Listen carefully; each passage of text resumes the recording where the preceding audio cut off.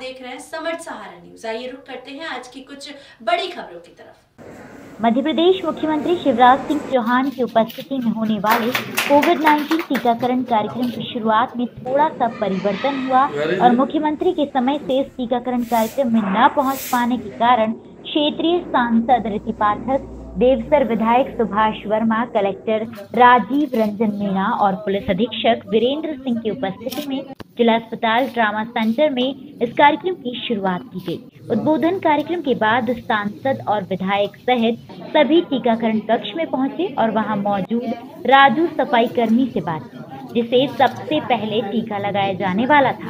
साथ ही इस टीकाकरण के बारे में वहाँ मौजूद डॉक्टरों ने भी बताया कि टीका पूरी तरह से सुरक्षित है और इस टीके की पहली डोज के बाद 28 दिन के बाद दूसरा टीका लगेगा और सामान्य सावधानियाँ बरतनी पड़ेगी। जिससे शरीर में कोविड 19 के प्रति प्रतिरोधक क्षमता बढ़ जाएगी।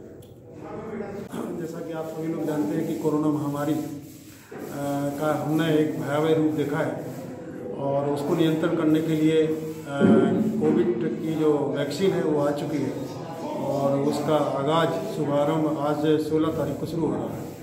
और वो 16 तारीख को शुरू हो रहा है। माननीय मुख्यमंत्री महोदय के द्वारा यहाँ पर पूरे प्रदेश के लिए उद्घाटन किया जाएगा। इसमें हम सबसे पहले जो हमारे स्वास्थ्य कर्मचारी हैं स्वास्थ्य कर्मचारी का जो सबसे नीचे का तबका है, सीपर या जो सफ़ाई कर्मचारी हैं, वहाँ से हम शुरुआत करेंगे ताकि उनके जीवन को पहले पूर्ण रक्षा दी जा सके।